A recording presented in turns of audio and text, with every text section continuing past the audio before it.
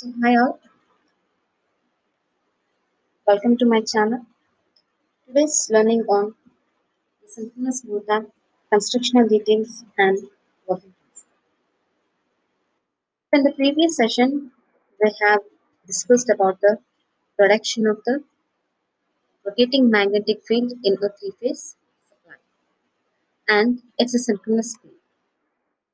Now we will discuss about the constructional details synchronous motor and the construction of the stator and as well as the rotor. And principle of operation of a synchronous motor and methods of starting. Characteristics of characteristics features of synchronous motor. So this is a synchronous motor. It is an electrical machine. So directly we cannot say it is a synchronous motor or else induction motor or whatever it is, uh, which type of motor. But yes, by saying it, we can directly say it is an electrical machine. Okay, constructional details of a synchronous motor. A three-phase synchronous generator is essentially composed of stator and rotor. Every machine has stator and rotor. Okay, in the same way, the synchronous motor also has stator and rotor. So this is a stator and here it is a rotor.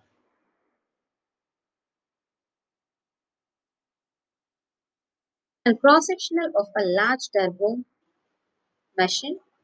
So here if you observe, so till here it is a stator part and this is a rotor. Here if you see there is a rotor winding inside and this is a stator winding. This is bearing and this is shaft. This is housing and cooling ducts and these are the connections. So see how large the machine is.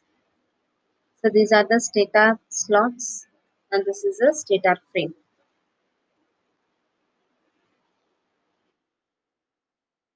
So the stator is a stationary member of a rotating machine. So stator frame. It is a DC in a DC machine. The outer frame serves to carry the magnetic flux and holding stator field poles. In alternators, stator frames is meant for only holding stator stampings and windings. So this is a stator. So if you see, this is a yoke or a frame, stator frame. And this stator is holding the stator conductors. So this is a stator core which is laminated. Copper conductors for winding and this is a terminal box and this is the eyebolt for carry and these are the stator slots and salient features of a stator frame. So what are the features of the stator? Okay. The stator is made up of a soft iron or silicon steel laminations. So silicon steel is used to reduce hysteresis losses and core is laminated to reduce the eddy current losses. See in any machine, if silicon steel is used, it means it is used to reduce the hysteresis losses and the many more, I mean the most of the machines are laminated, either the stator or the rotor also. Okay, it is only to reduce the current losses. So three-phase winding wound in a stator slot with 120 electrical apart. So the laminations are stamped out in complete rings or in segments. The laminations are insulated from each other. The laminations have spaces between them for allowing the cooling air to pass through it. So these are all other features. Okay. The slots for housing the armature conductors lies along the inner periphery of the core. These are the slots.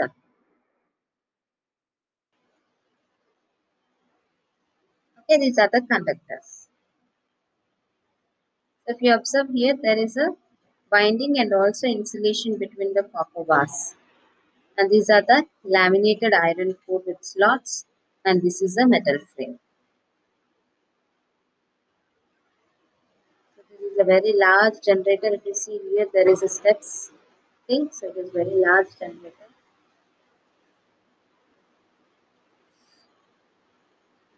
So these are the stator and this is a rotor. And here if you see, there is a space between the conductor conductor and also insulation conductor. Okay, so stator of a large salient pole hydro generator inset shows the insulated conductors and spaces.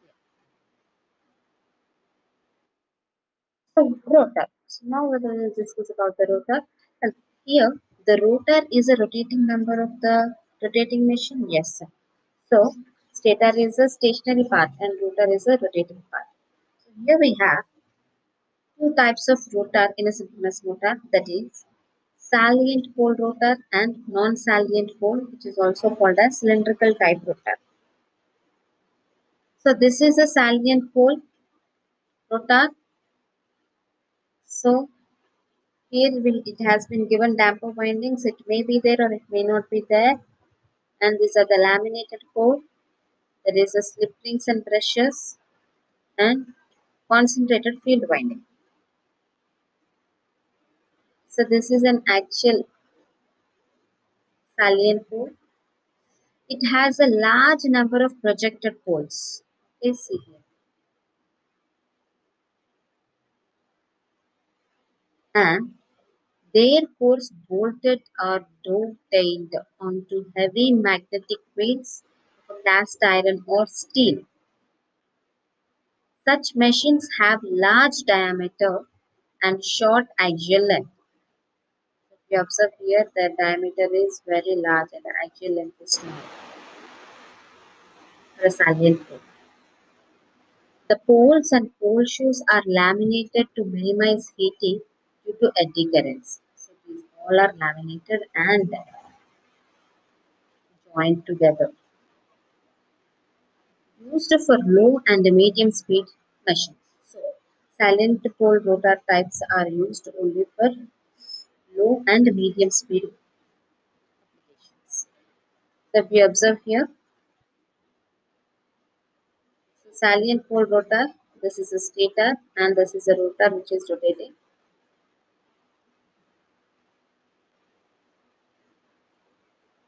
So these are some of the pictures. There is a slip ring which is used for low speed.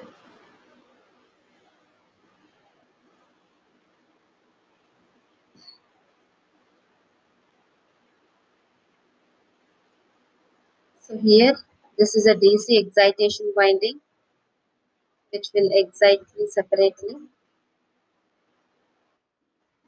A smooth cylindrical rotor. Know about the smooth cylindrical rotor? So the rotor consists of smooth solid forged steel cylinder having a number of slots. And these rotor poles are non-salient and do not project out. So here these poles do not project. So it is called non-salient also. And the salient poles uh, uh, rotor is also called as projected poles. And it was used for turbine driven generators. Hence this is used for very high speed. Such rotors are designed for two poles. So two poles turbo generators. So these uh, uh, rotors are designed for two poles only. If there is a two pole means that is for highest speed. And it is used for steam turbine driven generators. Such rotors are designed for two pole and the rotor field winding is excited by the separate DC supply through slip rings.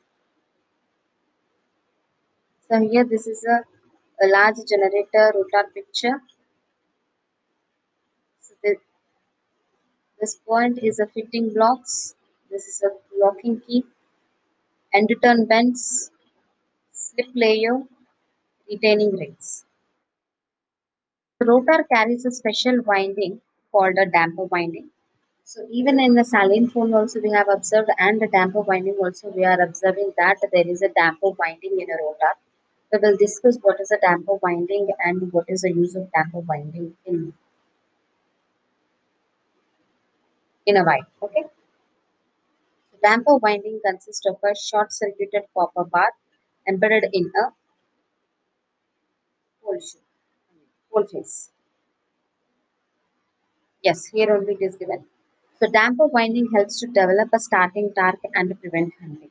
So damper winding, it is a extra winding. Uh, other, I mean, like it is not included in a rotor winding. It is an external external winding we have included in the rotor only for two purposes. That is to develop a torque at the time of starting and also to prevent hunting. Hunting is nothing but it is like a shaking of the rotor. Okay, so in order not to uh, oscillate the, the rotor, so we, are using a damping winding and also very important that for uh, getting a starting torque. As we know that a synchronous motor is not a self-starting motor, for starting purpose we will use damper winding. So this, if you observe, this is a cylindrical rotor. Uh, see, the poles have been not at all projected outside.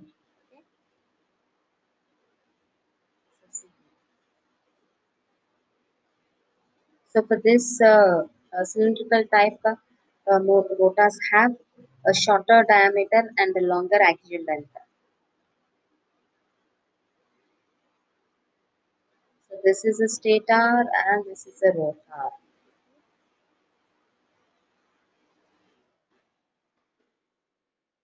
It is known that when two unlike poles are brought near each other, there exists force of attraction between the two poles, and the two magnets are now said to be magnetically locked. Yes. So here, for example, if this is a stator pole and this is a rotor pole here. So when stator pole and rotor pole of a different uh, poles, then there will be a chance of uh, there will be a force development that is an attraction force and uh, that force uh, it will be the two magnets when they come near and that is said to be a magnetic lock. So if one of the magnet is rotating and the oth- and the other one also starts rotating in the same direction with the same speed as shown in the figure. So if uh, here already magnetic locking has done. Here if N starts rotates then S also starts rotates because due to the magnetic locking. So this condition is referred to as the magnetic locking. So the principle of operation. So now we are supplying a three-phase winding, three-phase supply to a three-phase winding. So when a three-phase winding is fed by a three-phase supply, a magnetic flux of constant magnitude but rotating at synchronous speed is produced.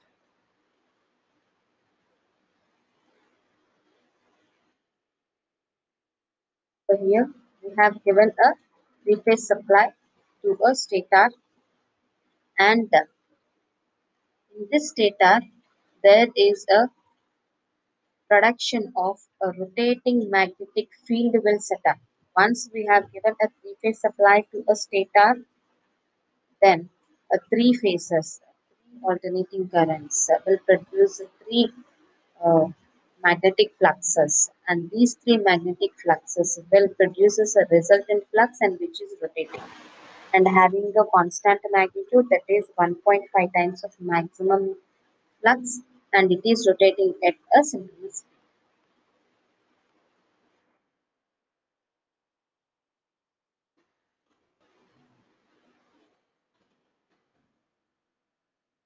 speed. So this is NS and this is ss so it is rotating it.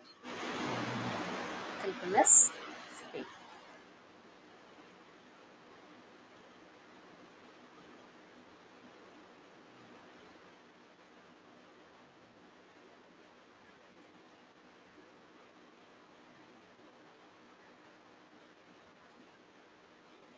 One three-phase supply given to armature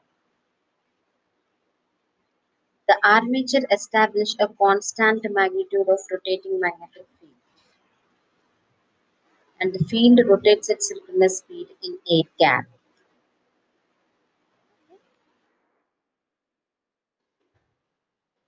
And stator poles marked by NS and SS, and these are rotating at synchronous speed, say clockwise direction. Now, when rotor is excited with DC supply,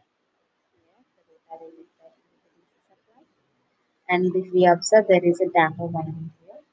So rotor winding establishes constant magnetic poles on pole shoe. At the instant of positive half cycle, NS at the point A and SS at point B, NR at point A and SR at point B. Okay, this is a point A and this is point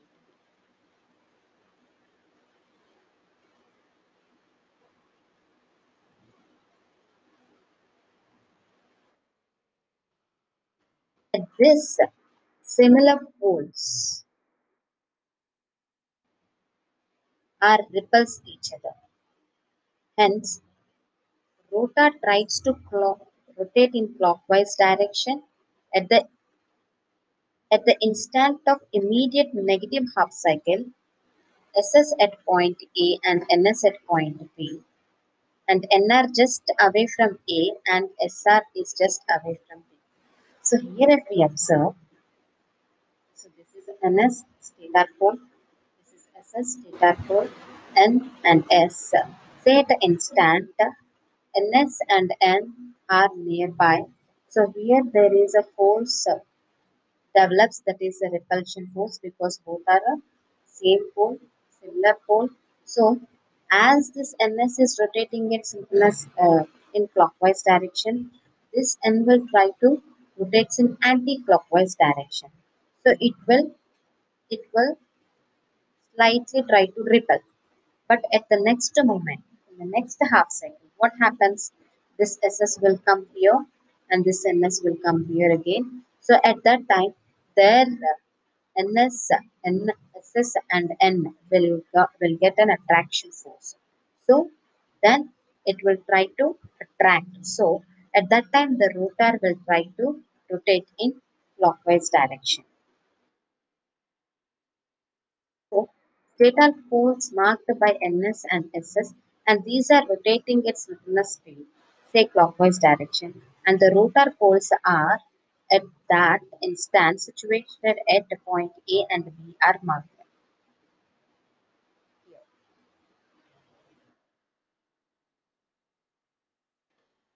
So what happens? This NS and SS will keep on change and the rotor will tries to rotate in clockwise and also anti-clockwise direction due to the repulsion and attraction, repulsion and attraction force. So it will it will try to rotate at anti-clockwise direction and clockwise direction, anti-clockwise direction, clockwise direction within a uh, half of cycles of a half of cycle 50 hertz frequency. So that means it is uh, uh, 0.01 second. Okay. So within a seconds, within a seconds, the rotor tries to rotate in both the direction. So what happens due to its larger weight, the rotor's larger weight,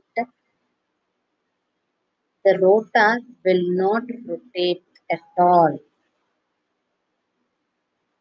So the two similar poles N of the rotor and NS of the stator as well as will repel each other and the rotor tends to rotate in anti-clockwise direction.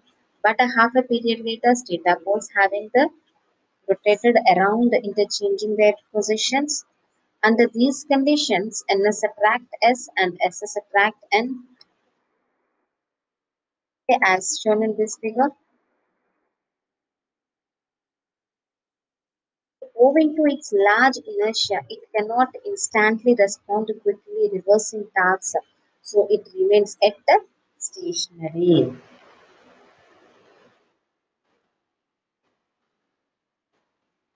So the rotor does not rotate.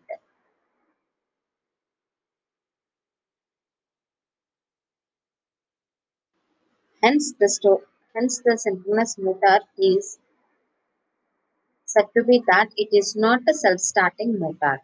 So starting with synchronous motor, how we have to start the motor?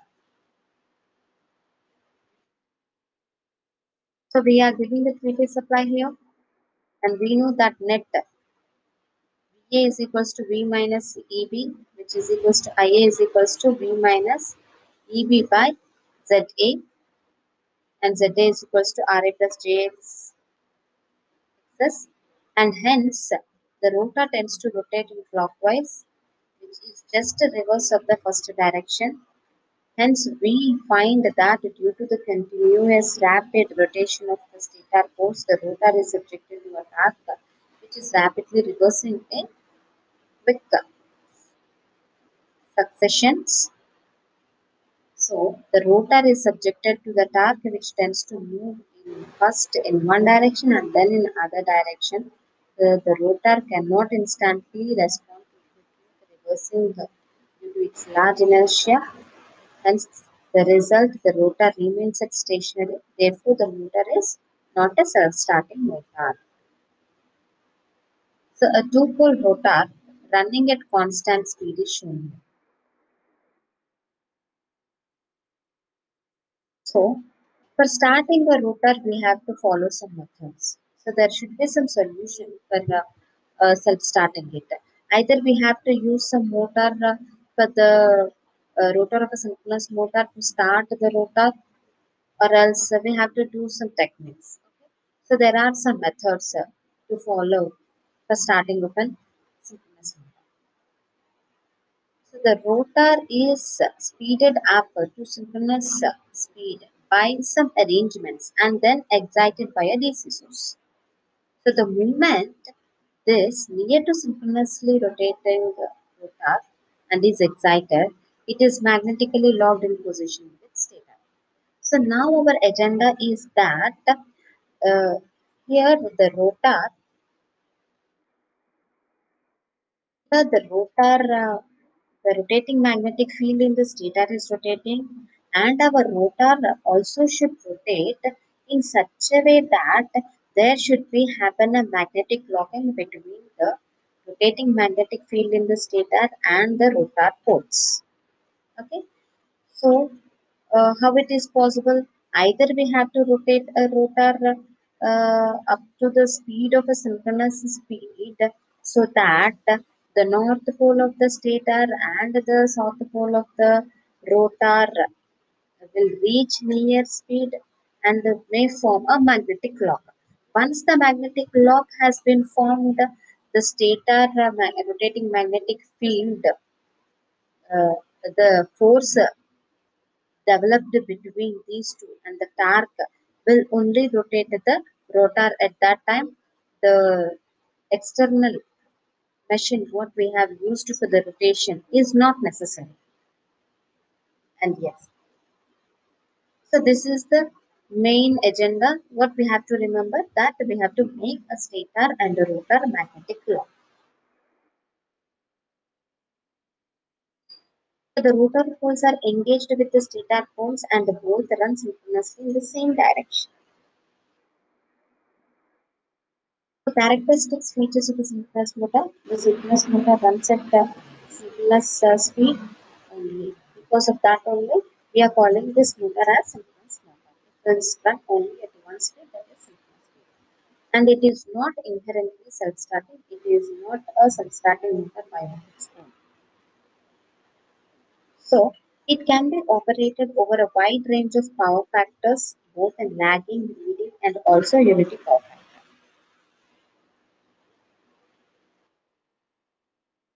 So here the starting methods. Uh,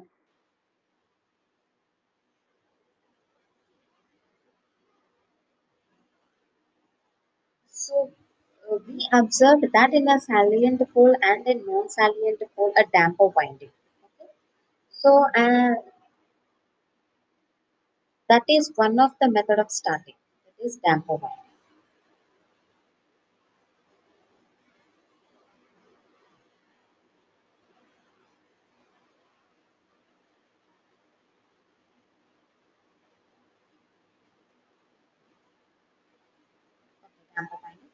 And the second one is by using an external motor.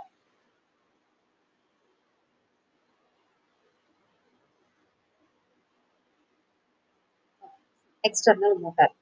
So these are the two types where we can use. And here uh, these are all the steps to be taken for us starting a motor. Okay. So say example we are using a damper winding for starting a synchronous motor. So what we have done, we have taken a winding in a rotor, that rotor poles, rotor shoe. So the damper winding has been made in a such a way that there is a slots, there is a slots under the uh, pole shoe of the rotor. In and that uh, and that slots they will put a, a copper bars and we will make it short like a induction motor squirrel cage induction motor. In squirrel cage induction motor what we are doing? We are we are using the copper bars and we are short circuiting with the end rings. So what happens by this? We know already due to the Lenz law very cause of its production it will oppose its direction so it will start rotating. So the same principle will follow when we use a damper winding. So it means that uh, when we use a damper winding, it means that the synchronous motor is running as an induction motor. So at the starting time, the synchronous motor is running as a induction motor and in the running condition it is running as a synchronous motor means it will run at a synchronous speed once it locks up. So this damper winding will help at the starting time. So it will give a torque. So we know that so here the damper windings there is a slots if you observe there is a slots in a pole uh, shoe. So they, those pole shoes are short circuited and the what happens here the flux will rotate. The rotating when we give supply to the stator when we give supply to the stator there will be a rotating magnetic flux will set up in a stator and which will rotate at say which is rotating at the synchronous speed Yet in this picture it is in anti-clockwise direction. Okay. So if it is rotating in anti-clockwise direction while rotating it will cut up the damper windings. So once the damper windings are cutted by the flux of a stator, so we know according to the Faraday's law an EMF will be induced in a conductor. So here an EMF will be induced in the conductor of a damper winding. So as the damper winding is short circuited, so there will be existence of current. So current here, the current produced in the damper winding will oppose according to Lenz law. So why it has been opposed only due to the due to the rotation of a magnetic field I mean due to the relative speed between the rotating magnetic flux and also the conductor conductor of the damper winding so hence it will start rotating in order to reduce the relative mo relative motion between the the rotating magnetic field of stator and the damper winding conductors so it will start rotating rotating. And at a certain at a certain point what happens? The north pole and the south pole the north pole of a stator and south pole of the rotor will link up. So there will be a magnetic locking will occur. So once the magnetic locking occur then the rotor will rotate at a rotating magnetic field speed that is synchronous speed so this is one of the method uh, what we are using. The second method is a uh, using an external machine. So here we have to observe that we are we are exciting this uh, rotor with the external DC source. So now I will explain the second method that is uh, we are using external motor for rotating the synchronous motor. So uh, suppose uh, example I have took a, a motor for rotating the rotor. Say this is this might be in standstill position. So I have uh, linked the rotor both shafts. So I am rotating the external rotor. So the synchronous motor rotor also rotating. So I will make sure that I will uh, give rotation up to 80 percentage of synchronous speed. Okay. So till that I will rotate and after that after reaching 80 percentage then I will give excitation to the rotor. So until then there is no north and south pole production uh, there is no north and south pole development at rotor in the rotor after excitation only there will be north and south poles will be formed. So when i will excite this af- after reaching 80 percentage of speed. So in order why i'm doing i can even supply in the starting position but it is unnecessary of uh, the supply uh, it is based of uh, battery source also because anyhow we are using it externally so after reaching 80 percentage then i'm going to give a supply of the excitation to the rotor then the formation of north and the south poles will occur. and uh, what happens so here uh, at 80 to 90 percentage of speed when it uh, forms then there is a uh, there will be a locking magnetic locking between a stator and rotor will occur. So once the stator and the rotor poles have been locked, so once once that is locked, then I can off the external uh, motor and this will rotor will start rotating at a synchronous speed. So these are the how there are the methods of starting a synchronous motor. So the only thing is uh, the starting is a bit costly because we are using some external sources.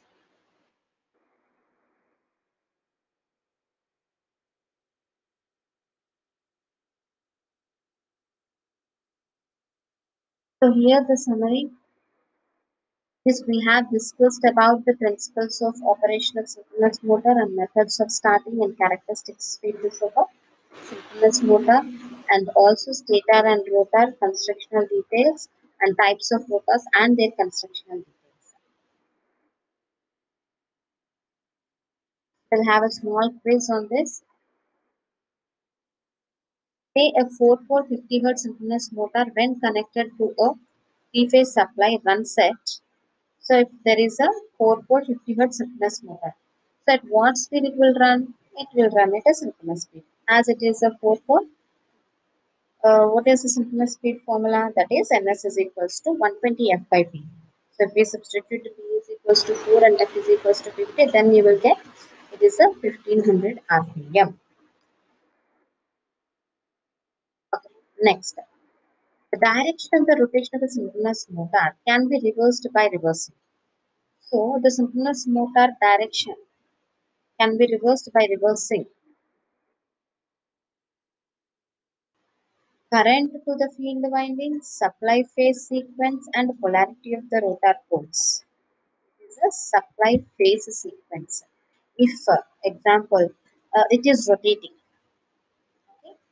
Uh, the motor is rotating suddenly what I have done I have changed the phase supply.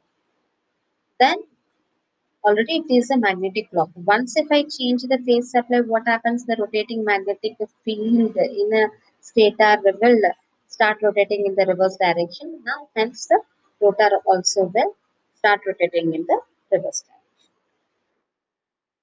So these are some of the uh, frequently asked question that is principle of operation and characteristics of a synchronous motor and yes A stator frame is used for holding the armature stampings and windings, holding the rotor stampings, holding the armature stampings. Rotor stampings is only for rotor. The core is laminated to minimize the eddy current. Not copper loss.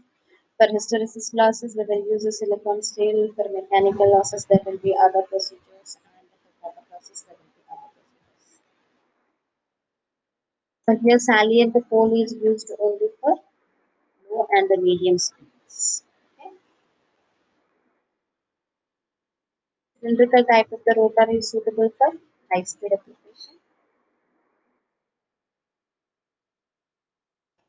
And in a synchronous machine, if the field circuit is open, okay, if in a synchronous machine, if the field circuit is open, means that means uh, we are uh, suddenly stop the excitation. What happens if suddenly stop the excitation?